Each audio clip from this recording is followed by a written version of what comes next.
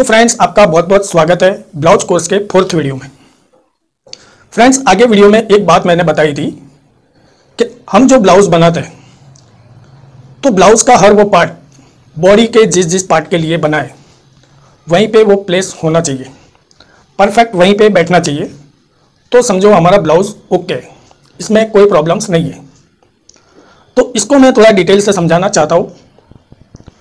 Perfect blouse fitting के लिए blouse को मैंने फोर स्टेप में डिवाइड किया। हूँ चार स्टेप आपके जब क्लियर हो जाते हैं फ्रेंड्स तो आपका ब्लाउज ओके होता है। परफेक्ट फिट होता है, कोई प्रॉब्लम इसमें नहीं होती। तो ये चार स्टेप क्या है? इसको मैं एक एग्ज़ाम्पल दे के आपको पहले समझाऊँगा, ठीक है? तो वीडियो को ध्यान से देखना है, और वीडियो अगर अच्छा लगे तो लाइक करना। चैनल पे नए हो तो सब्सक्राइब कर लेना, ठीक है? तो आइए फ्रेंड्स सबसे पहले समझते हैं कि ये चार स्टेप कौन से हैं। स्टेप वैसे बहुत सारे होते हैं, मगर ये जो चार स्टेप है, वो मोस्ट इम्पोर्टेंट है। अच्छी फिटिंग के लिए ये चार स्टेप क्लियर होना बहुत ही ज़रूरी है। ये चार स्टेप हमारे क्लियर हो जाते हैं तो हमारे ब्लाउज की फिटिंग अच्छी आती है। तो इस चीज़ को मैं आपको एग्जांपल देके समझाने वाला हूँ। सपोज़ कि ये मैंने ब्लाउज का कटिंग किया हो। अभी इसको मैं डमी पे ड्रैप करके दिखाऊँगा, और वो चार स्टेप कौन से कैसे क्लियर होते हैं ये आपको मैं डमी पे समझाता हूँ। तो फ्रेंड्स अभी इधर ध्यान से देखना, जब ये ब्लाउज पहना जाता है, ठीक है? तो सबसे पहले ये जो ब्लाउज का हाईएस्ट पार्ट होता है तो यहाँ पे होल्ड होता है पहनने के बाद, ये, ठीक है? इधर होल्ड होने के बाद, ये जो हमारी सेंटर फ्रंट लाइन होती है, वो स्ट्रेट होती है, ठीक है? तो ये लाइन तो हमारी स्ट्रेट गिनने वाली है। तो फ्रेंड्स अगर हमारा कॉलर नेक है तो इधर होल्ड होगा। डीप नेक है तो इधर होल्ड होगा सबसे पहले। डीप नेक हो या कॉलर नेक हो मेज़रमेंट आपको जैसे बताया है, सब ब्लाउज का एक ही तरह से लेना है, ठीक है? इस बात का आपको ध्यान रखना है। अभी इधर ब्लाउज होल्ड होने के बाद, जो हमारा फ़र्स्ट स्टेप होता है, पहला स्टेप होता है shoulder slope shoulder slope body पे जितना शोल्डर स्लोप है, जितना बॉडी पे शोल्डर डाउन है, उतना ही अगर आपने डाउन किया है तो आपका जो पहला स्टेप क्लियर हो जाएगा। ये शोल्डर वहीं रुकेगा, जहाँ पे उसकी जगह है, ठीक है? तो ये आपका शोल्डर स्लोप अगर परफेक्ट है तो आपका फ़र्स्ट स्टेप क्लियर हो गया। सेकंड स्टेप होता है आर्मोल का फ्रेंड्स आर्मोल आर्मोल अगर आपका परफेक्ट कटा है फ्रेंड्स तो उसकी जो जगह है, जहाँ पे उसका प्लेसमेंट होना चाहिए, ठीक है? वहीं पे होगा। तो ये आपका सेकंड स्टेप क्लियर हो जाएगा। सेकंड स्टेप क्लियर होना मतलब आपका अपर चेस्ट के ऊपर का पूरा पार्ट आपका ओके है, ठीक है? प्रॉपर है। अब तीसरा स्टेप क्या है friends dart point dart point आपका वहीं पे आना चाहिए, जहाँ पे उसकी जगह है, ठीक है? आगे पीछे नहीं होना चाहिए। डार्ट पॉइंट का हमारे पास मेज़रमेंट होता है। डार्ट पॉइंट की लेंथ विथ उसकी मेज़रमेंट करके निकाल सकते हैं। कैलकुलेशन भी होता है। साइज़ के हिसाब से भी हम रख सकते हैं, ठीक है? तो डार्ट पॉइंट में इतना इश्यू नहीं है, मगर अच्छे फिटिंग के लिए ये भी स्टेप क्लियर होना बहुत ज़रूरी है। सबसे पहले आपको ये बता दूँ कि जो सेंटर फ्रंट लाइन होती है, हमारी स्ट्रेट होती है, ठीक है? और इसी तरह ये जो साइड की लाइन होती है हमारी साइड में कोई शेप नहीं होता है, ठीक है? स्ट्रेट होता है साइड एकदम फ्लैट होती है। तो हमारी जो ब्लाउज में साइड की जो लाइन होगी, वो भी स्ट्रेट होगी, ठीक है? तो अभी हमारा चौथा स्टेप क्या है फ्रेंड्स चौथा स्टेप है डार्ट डार्ट फ्रेंड्स ब्रेस्ट के हिसाब से साइज़ के हिसाब से बस्ट के उबार के हिसाब से परफेक्ट डार्ट आपका लगना बहुत ज़रूरी है।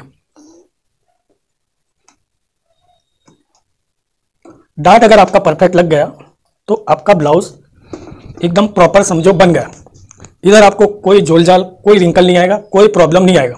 एकदम परफेक्ट ब्लाउज का फिटिंग आएगा, ठीक है?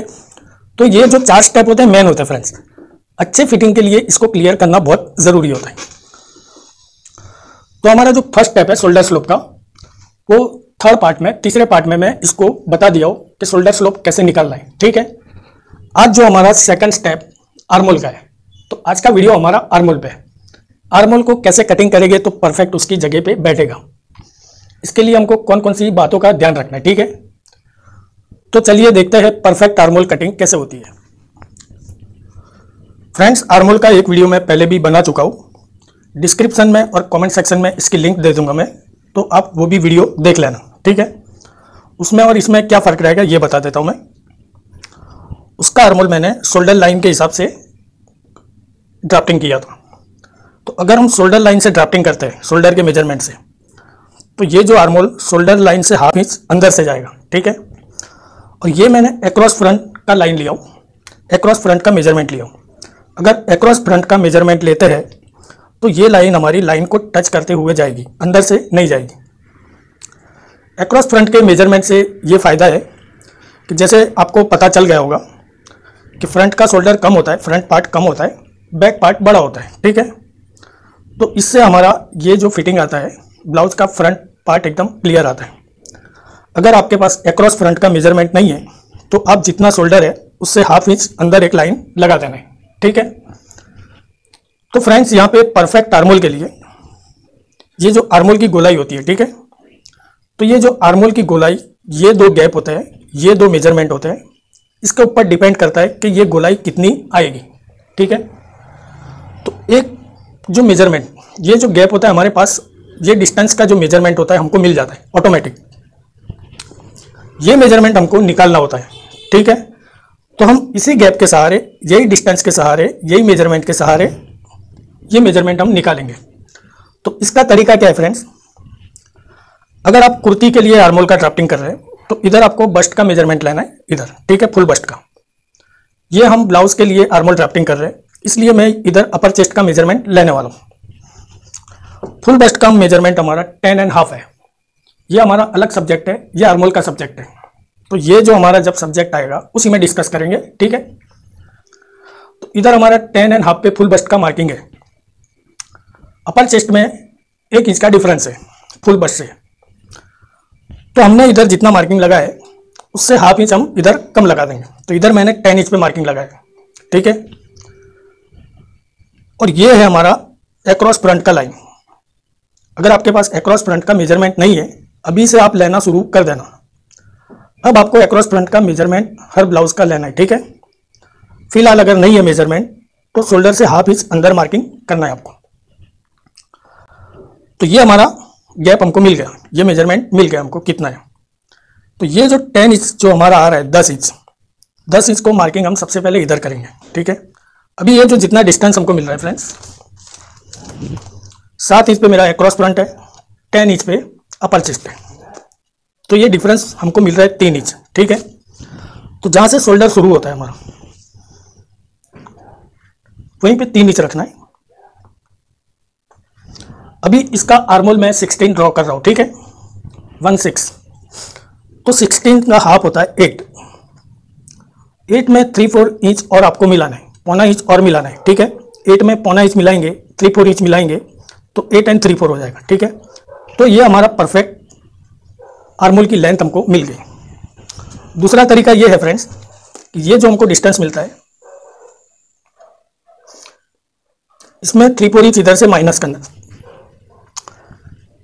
तो ये थ्री इंच में से पॉइंट सेवेंटी फाइव निकालेंगे तो two and quarter two point twenty five सवा दो इंच आएगा, ठीक है? तो ये जहाँ से आर्मोल हमारा जो शोल्डर स्लोप से शुरू होने वाला है, वहाँ पे सवा दो इंच रखेंगे फिर जो आर्मोल का हाफ़ है, वहीं पे मार्किंग लगा लेंगे, ठीक है? अगर आपने थ्री फोर इंच इधर से नहीं निकालना है तो इधर इंक्लूड करना है, बढ़ा देना है, ठीक है? तो इससे जो हमको गोलाई जो मिलती है फ्रेंड्स आर्मोल की परफेक्ट हमारा जितना आर्मोल होता है, उतनी गोलाई हमको मिल जाती है, ठीक है? तो ये परफेक्ट हमारा आठ इंच पे आ गया, ठीक है? एट पे।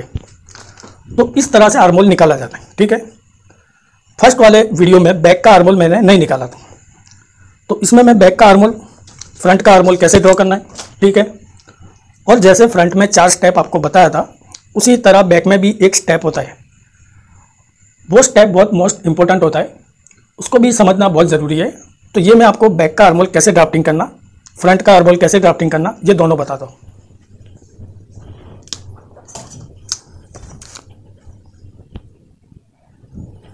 तो फ्रेंड सबसे पहले ये लाइन को सीधी कर लेंगे। ये लाइन सीधी कर लेंगे।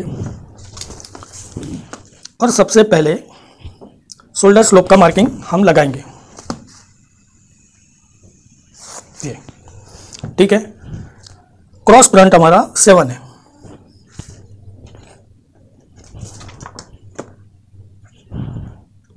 सेवन पे सीधा मार्किंग लगा दिया। अपर चेस्ट हमारा टेन है, ठीक है? ये मेज़रमेंट मैं ड्राफ्टिंग के वीडियो में बताऊँगा, कैसे निकालते हैं, ठीक है? तो ये हमारा टेन इंच अपर चेस्ट है। तो ये तीन का हमको डिफरेंस मिला, ठीक है? तो ये तीन को इधर रखेंगे हम, जहाँ से हमारा आर्मोल शुरू होने वाला है, जहाँ पे शोल्डर स्लोप बनता है। जितना आपका आर्मोल है, ठीक है?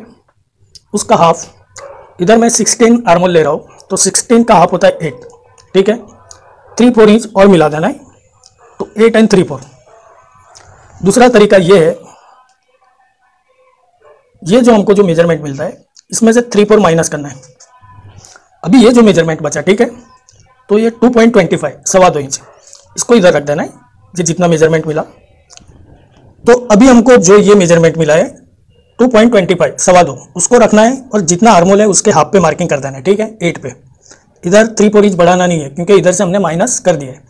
अगर ये पूरा मेज़रमेंट अगर हम लेते हैं थ्री इंचज़ है तो तीन इंच को अगर हम इधर रखते हैं, ये जो हमारा मेज़रमेंट है तो इसमें फिर हमको आर्मोल का half plus three four inch और बढ़ाना होता है, ठीक है? तो इस चीज़ का आपको ध्यान रखना है। तो ये लाइन हमको अब इधर मिल गई, ठीक है? अभी हम अपर चेस्ट का मार्किंग इधर लगा देंगे। एक मार्किंग दोनों के सेंटर में लगाएँगे। और फ्रेंच कर्व की मदद से ये लाइन को मिलाएँगे पहले। फिर इधर जो हमारा शोल्डर का मेज़रमेंट है, ठीक है? वहाँ पे मिला देंगे इस तरह से। इसके बाद ये हमारी नेक लाइन से ये मार्किंग हम कर देंगे शोल्डर स्लोप का। तो ये हमारा परफेक्ट आर्मोल का मेज़रमेंट निकल गया, ठीक है? ठीक है फ्रेंड्स 16 का हाफ़ होता है एट तो ये आपको याद रखना है, ठीक है फ्रेंड्स अब इधर से माइनस करके अगर जो मेज़रमेंट मिलता है, उससे निकालेंगे। इधर जो हमको गैप मिला थ्री फोर इंच माइनस करके, अगर ये मेज़रमेंट इधर रखते हैं तो इधर आर्मोल के हाफ़ पे मार्किंग लगाना है। अगर ये पूरा मेज़रमेंट इधर हम रखते हैं, जैसे ये जितना गैप है हमारा, जितना डिस्टेंस है, वो मेज़रमेंट अगर हम यहाँ रखते हैं तो आर्मोल के हाफ़ में थ्री फोर इंच और बढ़ा देना है, ठीक है? तो ये हमारा फ्रंट आर्मोल हो गया। अभी ध्यान से देखना, मैं आपको बैक का आर्मोल ड्राफ्टिंग करके बताता हूँ, ठीक है? इसके लिए आपको कौन सी बात का ध्यान रखना है, कौन सी चीज़ को समझना है, वीडियो ध्यान से देखना। अभी फ्रेंड्स इस चीज़ को ध्यान से देखना, क्योंकि बैक का एक स्टेप हमको बहुत क्लियर करना ज़रूरी होता है, अच्छी फिटिंग के लिए। अगर ये स्टेप क्लियर नहीं होता है तो बैक आर्मोल में खिंचा हुआ है ठीक है? और साइड में जो होता है, जो हमारी साइड जॉइंट होती है, वहाँ पर रिंकल्स आते हैं फ्रेंड्स ठीक है? ये पार्ट हमारा क्लियर नहीं होता है प्लस बैक आर्मोल में खिंचा हुआ है तो वो क्यों आता है फ्रेंड्स फ्रेंड्स जब ब्लाउज पहना जाता है, ठीक है, इधर होल्ड हुआ, ये पार्ट इधर होल्ड हो गया, ठीक है, ध्यान से देखना। सेंटर फ्रंट लाइन हमारी, ये सीधी गिर गई, ठीक है। अभी ये हमारी आर्मोल की लाइन है। ये हमारा शोल्डर है। बैक आर्मोल हम ड्राफ्टिंग करते हैं तो हमको इसके हिसाब से मार्किंग लगाना है, सबसे पहले ये, ठीक है। अभी फ्रेंड्स ये जो आर्मोल की जो पोजीशन है, ठीक है तो इसकी ये पोजीशन नहीं रहने वाली। हम लोग अक्सर जो बैक का आर्मोल कटिंग करते हैं, ये लाइन के हिसाब से करते हैं, ठीक है? ये तरीका गलत है। क्यों? क्योंकि इधर जो डाट होता है डाट हमारा लगता है तो डाट का एक रिएक्शन होता है फ्रेंड्स ये फैब्रिक जब इधर आता है तो ये फैब्रिक इधर आता है, ठीक है? जैसे ही हमारा डाट लगेगा फ्रेंड्स ये देखो, ये।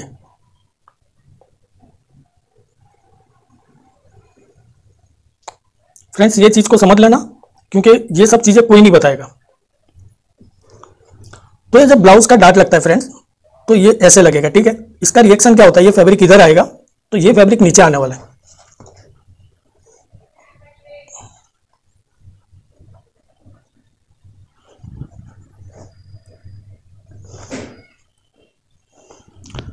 तो डाट लगने के बाद ये आर्मोल हमारा नीचे आ जाता है, ठीक है? आपने मेरे कटिंग की वीडियो देखी होगी, इसमें आपने ये चीज़ नोट किया होगा कि मैं जब बैक का मार्किंग लगाता हूँ तो इसको ऐसे खींच के लगाता हूँ, ठीक है? तो इसका रीज़न क्या है फ्रेंड्स जब ये हमारा डाट लगता है तो आर्मोल की जो फ्रंट आर्मोल की पोजीशन जो होती है, वो चेंज हो जाती है, वो नीचे आ जाता है। अगर हमने बैक आर्मोल इधर से मार्किंग किया है, इधर से कटिंग किया है तो इसकी पोजिशन ये है, ठीक है फ्रेंड्स और इसकी पोजिशन यहाँ पे आ रही है। तो ये जब चीज़ दोनों ज्वाइंट होगी तो ये डिसबैलेंस होगा। और इसकी वजह से क्या है, ये बैक आर्मोल को खींचेगा फ्रंट आर्मोल और इधर रिंकल क्रिएट हो गया।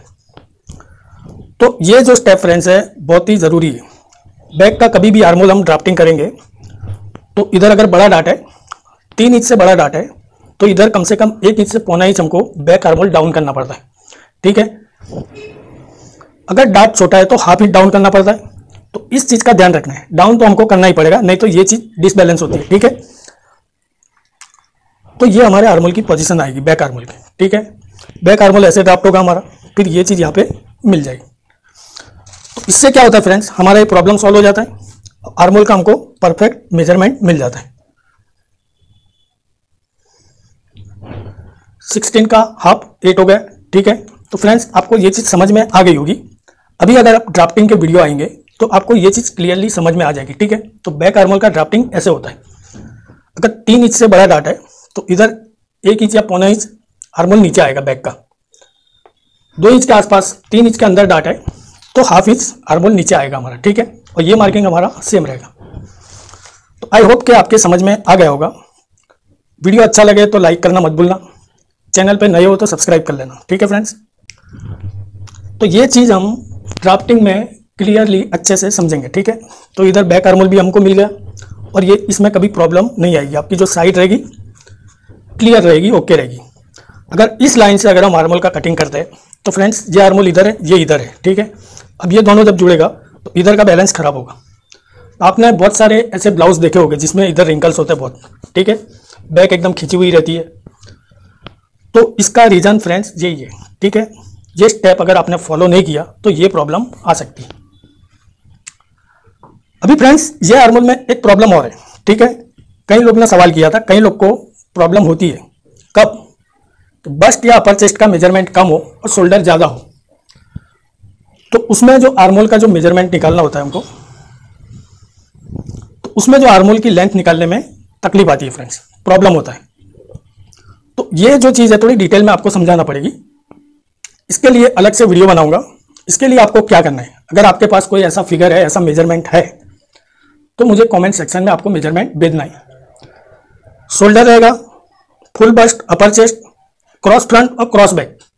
इतना मेज़रमेंट आपको मुझे देना है। तो मैं वो मेज़रमेंट पे वीडियो बना के, इस टाइप के मेज़रमेंट में किस तरह से कटिंग होता है उसका अलग वीडियो बना दूँगा। ठीक है फ्रेंड्स तो फ्रेंड्स आई होप कि आपके समझ में आ गया होगा। वीडियो आपको डेफिनेटली अच्छी लगी होगी तो लाइक करना मत भूलना, ठीक है? तो फ्रेंड्स दीजिए इजाज़त। मिलते हैं नेक्स्ट वीडियो में।